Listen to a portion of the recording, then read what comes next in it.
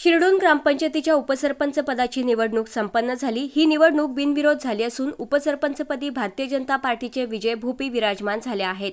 त्यानिमित्त भाजपचे पनवेल तालुका अध्यक्ष अरुण शेठ भगत यांनी नवनिर्वाचित उपसरपंच विजय भोपी यांचे पुष्पगुच्छ देऊन अभिनंदन केले व पुढील वाटचालीकरिता सदिच्छा व्यक्त केल्या. शिरडोन ग्रामपंचायतीच्या उपसरपंचपदी भाजपचे विजय भोपी यांची बिनविरोध निवड झाली आहे. त्यानिमित्त त्यांना अनेक मान्यवरांनी पुष्पगुच्छ देऊन शुभेच्छा दिल्या.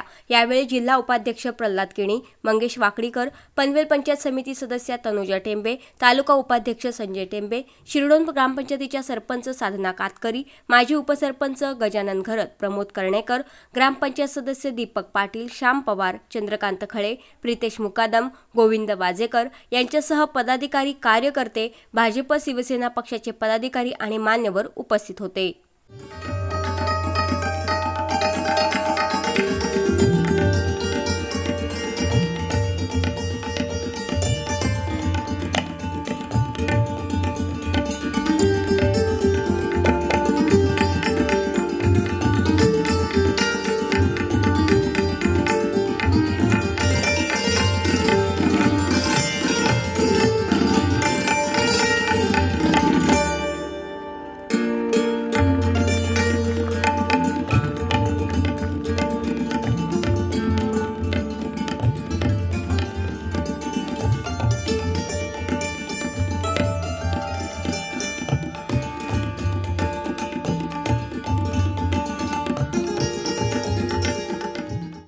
सर्व ग्रामपंचायत सदस्य यांचं यांना मी खरोखर मनापासून धन्यवाद देतो. की आताच प्रल्हाद यांनी सांगितल्याप्रमाणे सरपंच आणि उपसरपंचचा राजीनामा देणं म्हणजे एक एवढी अवघड गोष्ट राजकारणानं असते की त्याच्यावर वाद हे नेहमीच असतात. आज सहजासहजी कोणच राजीनामा देत नाही सरपंचाचा किंवा उपसरपंचाचा. पण या शिरडोन गावामध्ये या गाव ग्रामपंचायतीमध्ये मला वाटतं ही परंपरा तुम्ही खंडित करण्याचं काम या निमित्त करणार. म्हणजे लवकर राजीनामा देणं हे म्हणजे इतिहासात नोंद करण्यासारखी गोष्ट होणार आहे. आणि त्याच्यामुळे तो तुम्ही लवकर राजीनामा दिला त्यानंतर मी खरोखर मनापासून कौतुक करेन त्यांना धन्यवाद देईन. की अशी राजकारणी लोक असले असले कार्यकर्ते असले तर गावाचा विकास व्हायला वेळ लागणार नाही. आणि तशा पद्धतीने शिरडोन गाव सर्व सदस्य किंवा ग्रामस्थ यांनी ही परंपरा जोपासलेली आहे. त्याच्याबद्दल मी आज विजय भोपी जे आज उपसरपंच म्हणून या ठिकाणी बसलेले आहेत यांना पुढील वाटचालीसाठी मनापासून हार्दिक शुभेच्छा देतो की प्रल्हाद यांनी सांगितल्याप्रमाणे आपलं नाव राहिलं पाहिजे.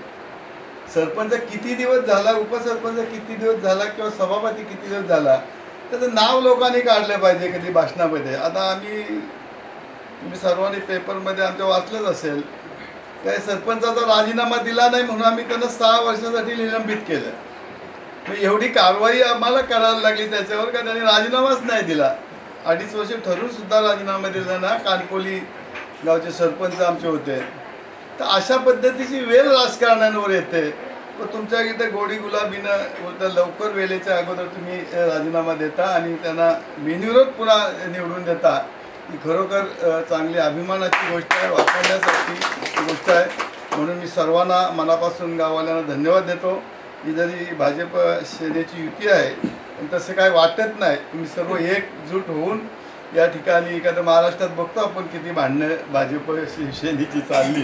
पण ही तर तुमच्याकडं अतिशय गोडी गुलाबाने तुम्ही या ग्रामपंचायतीचा आपल्या गावाचा विकास व्हावा म्हणून आपण सर्व एकमेकाला सहकार्य करता. पुन्हा एकदा आपण सर्वांना मनापासून धन्यवाद देतो.